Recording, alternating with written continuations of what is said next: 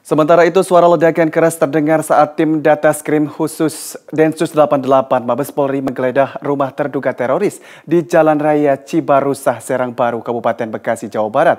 Suara ledakan sempat membuat kaget awak media yang sedang melakukan tugas peliputan di sekitar lokasi. Sementara itu, Kapolda Metro Jaya mengatakan dari hasil penggeledahan, polisi membawa satu orang terduga pelaku teroris. Beginilah suara ledakan saat petugas detasemen khusus Densus 88 melakukan penggeledahan di Jalan Raya Cibarusah, Kabupaten Bekasi, Jawa Barat pada Senin siang.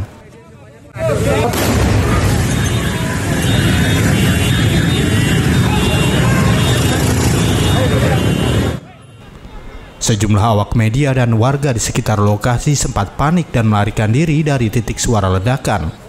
Diduga suara ledakan tersebut salah satu barang bukti yang diledakkan tim Densus 88 lantaran membahayakan.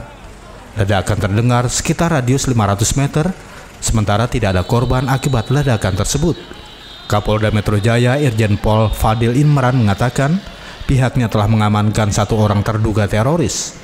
Hingga saat ini polisi belum memastikan keterkaitan tersangka dengan bom bunuh diri yang terjadi di Gereja Katedral Makassar, Sulawesi Selatan pada minggu kemarin. Apakah memiliki keterkaitan dengan bom di Makassar atau tidak nanti akan dijelaskan oleh Bapak Kapolri di uh, Polda Metro Jaya. Yang kami kerjakan sekarang adalah bagaimana melakukan sterilisasi jika dilaksanakan disposal akan dilaksanakan evakuasi dengan hasil penilaian dari tim Cibom Gegana Polri. Saya kira itu.